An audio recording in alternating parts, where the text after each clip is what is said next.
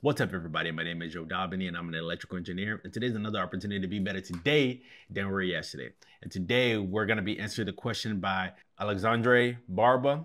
She said, Great video, made me subscribe instantly. I appreciate it. I'm on my way to declaring an electrical engineering major.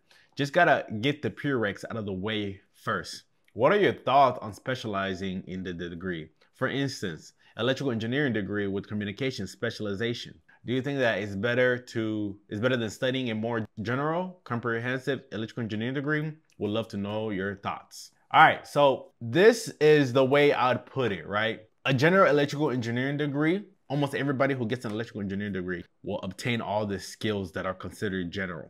Now, when you specialize in something, it sets you apart from everybody else that completed the general qualifications because everybody has to take the same classes, to become an electrical engineer, that you could consider yourself as a general comprehensive electrical engineer. Now, the way I would look at it, for an example, you are in college. So we're gonna take a look at careers at NVIDIA for an example. So here I've placed electrical engineer, new college graduate.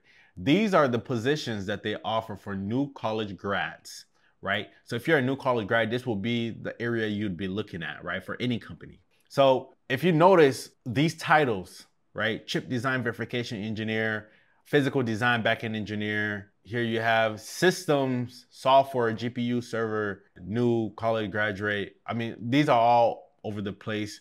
But you'll you'll see that there's certain keywords in here that you got to pay attention to. Verification engineering. Does everybody know how to be a verification engineer? Does everybody know how to be a systems engineer? Does everybody know how to do CPU design engineer? No. So what you want to do is where do you want to work at? What do you want to do in the field?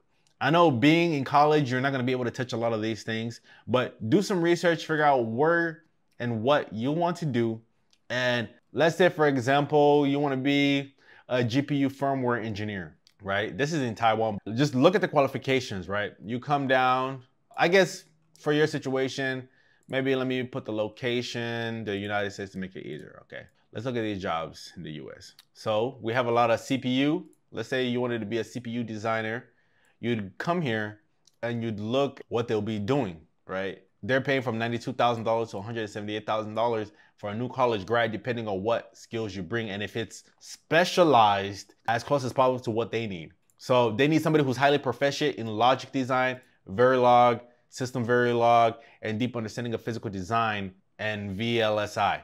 VLSI is an elective that I decided to take in my bachelor's degree, right? Not everybody had to take VLSI, but because I took that elective, it puts me a little, a one step ahead of anybody else who may have gotten the same degree but didn't specialize in VLSI.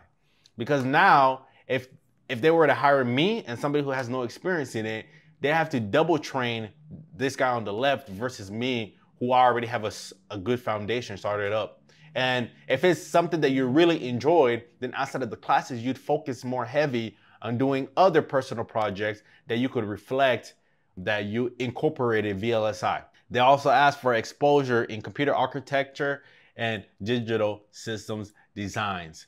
Strengths in Perl. I've never used Perl in my entire life. If you are an electrical engineer that has a specialized skill in Perl, you're already ahead of me. Python, I'm usually, right now, I'm learning more Python in my master's degree.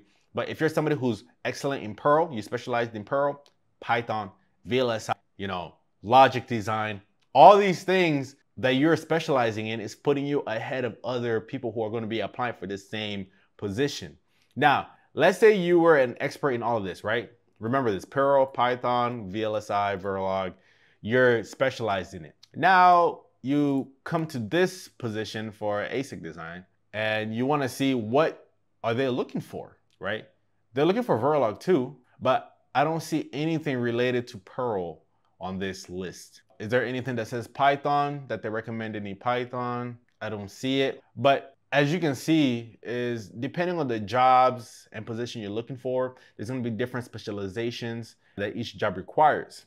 So your best bet is find out what you wanna do and then specialize in it, right? Everybody will have their general electrical engineering degree, but if you want to stand out against your application peers, provide that one unique ability or skill that can trump everybody else. And as you move up in the industry, it just continues to stay the same rule. Everything that I've learned today, right, it puts me ahead of other electrical engineers that are not in the RF world because everything that I've spent learning over the year in RF industry, they don't have.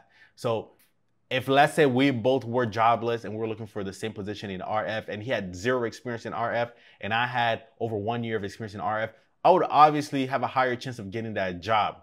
And the only way he could flip the coin is making projects or doing things that are so tailored to that job description that when he shows up to the interview, he's almost working on the same objective projects on his own time that directly correlates to the company, then that way he could trump me.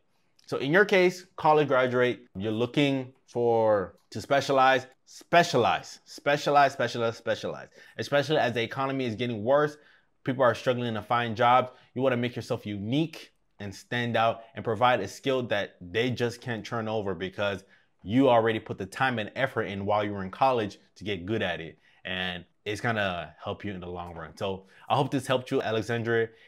Anybody else has a question or thoughts and opinions? If there's any senior engineers out there would like to leave your comment section. I could be wrong, so I would really love to hear other people's opinion in the comment section down below. And don't be afraid to share the video, like the video, and I'll see you guys in the next video. Jodabeni is out.